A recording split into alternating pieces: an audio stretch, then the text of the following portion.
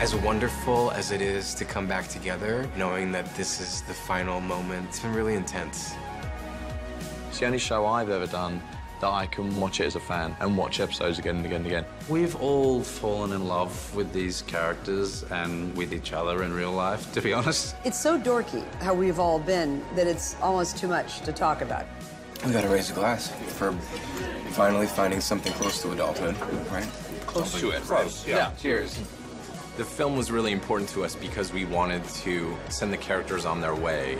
It leaves us in a really wide open, beautiful place. We hope that it feels like these characters have lives beyond the end of the series. The work has created a conversation and a starting point for conversations. That's why I think it's been a very important series.